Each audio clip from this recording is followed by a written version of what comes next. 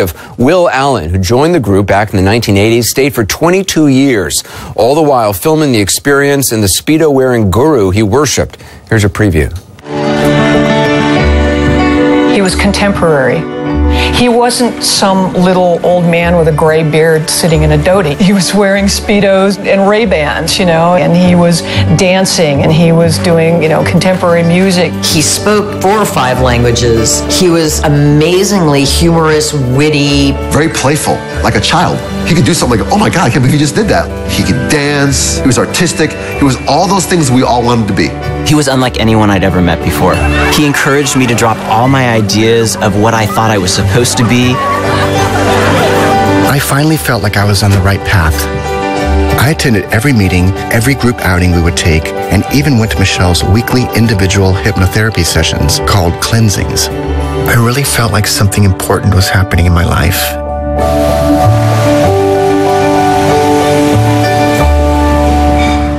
Eventually, Bliss gave way to scandals and allegations of brainwashing and worse. Will Allen left the group, made the film Holy Hell as a sort of cautionary tale. He joins me. This film is so fascinating. I mean, the fact that you were able to document this entire experience, and I just I urge anybody who's watching who hasn't seen it to, to watch this. Mm. Um, how?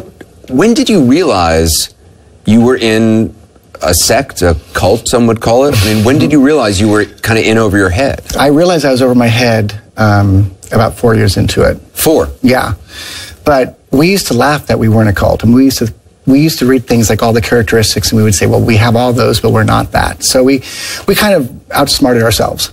I, I would say, you know what I mean? And what, what, initially, what was it about the master, mm-hmm. uh, as he, he, liked to be called, um, that that drew you?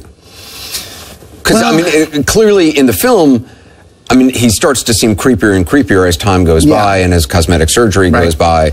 Um, but what it initially was the appeal? Yeah, I came in earlier when he was younger, and uh, he wasn't so odd looking then. And I, I, he was entertaining. He was smart. He really seemed like he was coming from truth. Mm-hmm. Like there was a, a knowledge that he had that I wanted that I didn't learn in school that nobody taught me. I, I don't want to give away too much mm-hmm. of sort of what happens later on in the film, um, but it took you how long to to finally uh, extricate? Yeah, extricate yourself. um, it wasn't until the end. so we're talking 22 years. years. I was there for 22 years, uh, half my life at the time.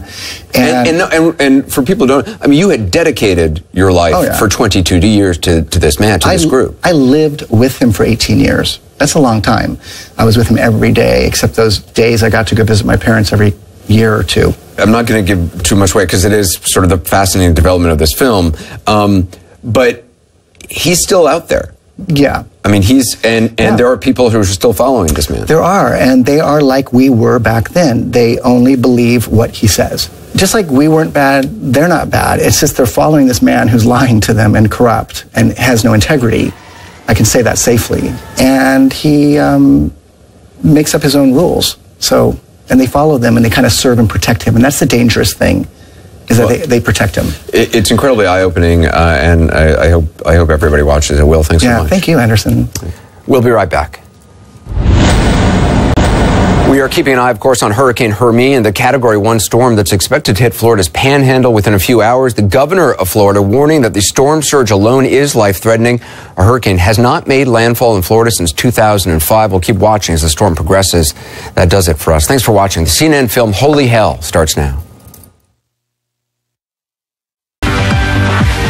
CNN News Now. Hello, I'm Natalie Allen. Hurricane Hermine is expected to make landfall along the Florida coast in the next few hours. The Category 1 storm is already dumping heavy rain across the state.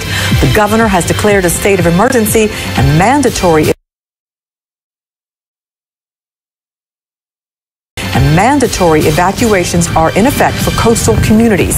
Forecasters are warning of dangerous flooding and an extremely high storm surge. Pro and anti government protesters filled the streets of Caracas, Venezuela Thursday. The anti government faction is demanding a recall referendum on removing President Nicolas Maduro from power. Government officials say the opposition really wants violence in the streets. Hillary Clinton is holding a lead over Donald Trump, but it's not what it used to be. A new CNN poll, a poll, the Democratic's book planned convention used to increase internet Exacto.